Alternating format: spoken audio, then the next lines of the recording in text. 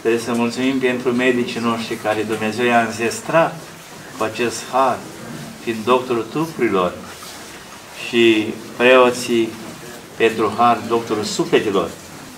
Deci, într-o comună, într-un sat, mă știu de copil, de prunc, știam că în satul nostru era vrednic și cinstit de popor, preotul satului, învățătorul, profesorul, primarul și poliția. Au rămas pentru noi și în zilele noastre pe Sfântul Apostol Andrei cel întâi chemat, ocrotitorul României, să mijlocească pentru noi toți păcătoși înaintea lui Dumnezeu. Bine ar fi de fiecare dată, în afară că cinstim și trebuie să cinstim cum se cuvine sărbătorile care uh, sunt sfințe, sunt castice, prieteni Dumnezeu, dar și mijlocitori ai noștri.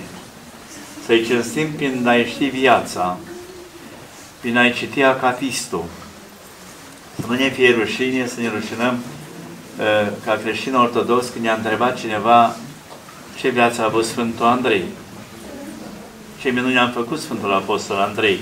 Sfântul, care am primit numele la botez, este ocrotitorul nostru înaintea lui Dumnezeu, mijlocitorul nostru înaintea lui Dumnezeu. Bucurie Sfântă și la mulți frumoși, binecuvântați ani pentru toți cei care purtați numele Andrei și Andreea. La mulți ani încă o dată.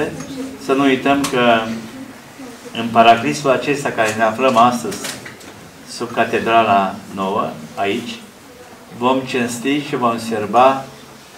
Avem două hramuri care le cinstim.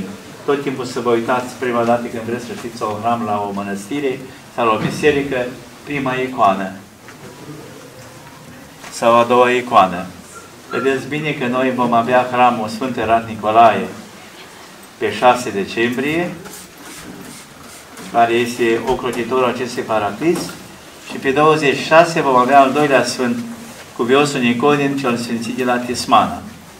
A doua zi de Crăciun vom avea prezența Eracului. Va fi prezent pe Sfântul Nicodim, cel Sfânt la Tismana, Preasfințitul Părinte Episcop Nechifor Botoșăneanu. Nu poți să te duci într-o casă de prieteni, familie, rude, de sânge, fără să ai în ceva, un cadouaș în această lună, în decembrie, când e cea mai frumoasă lună, dar cel mai frumos dar divin al Hristos, nașterea Pruncușorului Iisus Hristos. Să fim mai plânzi, să fim mai milostivi, să fim mai iertători și să ne gândim cum a fost Pruncușorul Iisus Hristos când s-a născut și cum ce facem noi astăzi. Dacă vrem să-L primim în casele noastre pe Pruncușorul Iisus Hristos, la nașterea lui Hristos, atunci trebuie să primim colindătorii, copilașii care ne vestesc nașterea Domnului. Ferească Dumnezeu de creștinul care nu primește copilașii cu colindă. Noi nu simțeam Crăciunul și Iordanul dacă nu intra preotul să ne binecuvinteze casa, masa și bradul. Oricare acel suflet rece de piatră n-ar primi preotul. Solul lui Dumnezeu să-i vestească nașterea Pruncușorului Iisus Hristos și care îndrăznește la țară să închidă porții numai la prunci, ci și la preot cu ajunul.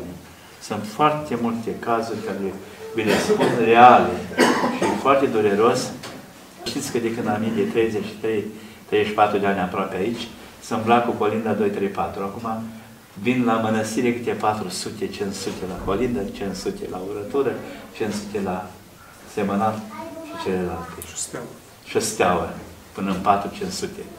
Și așa am format din nou tradiția aceasta. Ei, dacă îmi vin cu punguța goală, înghețați și cu deștile afară, fără un pe picioare în timpul iernii, să ne spună că noi am primit decât trei din sat, sau patru, toți am fost copii. Știți dumneavoastră cât ne bucuram când primeam noi acolo, nu știu dacă ne bucuram tare de un covric. Eu sunt foarte iubitor de sărbători, fiindcă când ești copil și ești mai necăjit și n-ai avut... Ei, așa erau timpurile, braz cu instalații, cu bomboane acum de pom, nu o să mai găsea. Puneai acolo niște biscuiți, niște gutui, miere, ce mai puneam noi acolo. Dar astăzi este cu totul altceva și tot timpul am iubit tradiția Crăciunului. Ați văzut că deja bradul l-am făcut, fiindcă așa simt eu sărbătorile și copiii necăjiți în zonă. Unde a văzut eu un brad așa că ăsta? le fac când vin să se bucure, să stea lângă brad, să le dăm dulciul lângă brad. Și așa voi face până voi pune mâine pe pept. De aceea vă îndemn să fiți milostivi. Cu puținul care vă dă Dumnezeu, din puținul care vă dă Dumnezeu. Important este atât timp cât puteți să merge în picioarele dumneavoastră și puteți munci și câștiga pâinea cea de toate zilele, Măicuța Domnului să vă bucure, vă doresc din suflet și vă urez un post ușor în continuare și de multe ori așa nu știu cât curaj avem și eu și dumneavoastră să ne uităm la chipul Domnului sau mai și Domnului.